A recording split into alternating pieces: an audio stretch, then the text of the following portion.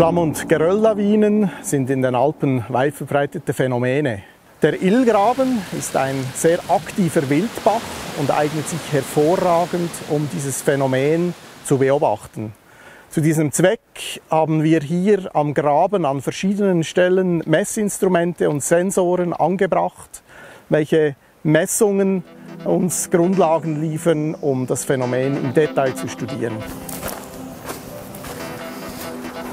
Ici, je me trouve sur un système de mesure extrêmement spécial qui est une balance pour mesurer les laves torrentielles. Ça veut dire qu'on mesure les forces verticales exercées par la lave torrentielle au moment où elle passe et les forces en direction de l'aval.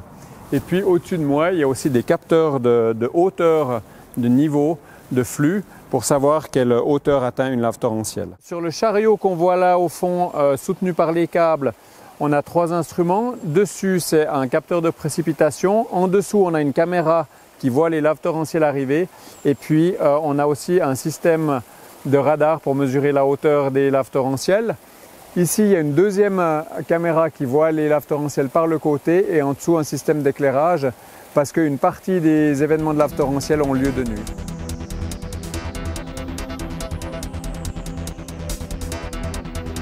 We just installed four soil moisture sensors to determine how much rainfall and how the soil responds to the rainfall so that we can better understand the triggering conditions for debris flows and landslides within the catchment.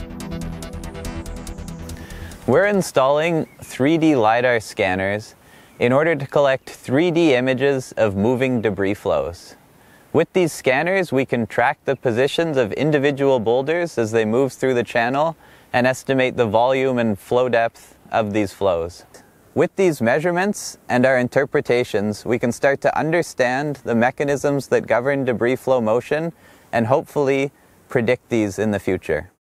The data we collect at the Illgraben are extremely useful for developing and testing simulation models which are used to develop more accurate hazard maps uh, for the protection of people who live in villages in the Alps.